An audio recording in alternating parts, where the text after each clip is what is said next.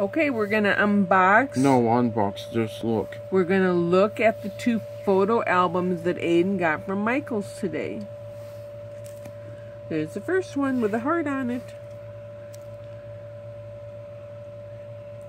What am I supposed to say? The front. The front, the side, the back. And there's the inside.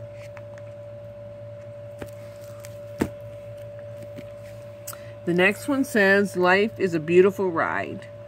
That's the front, the side, the back. And that's inside.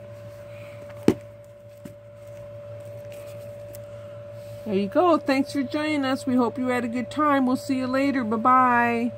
The end.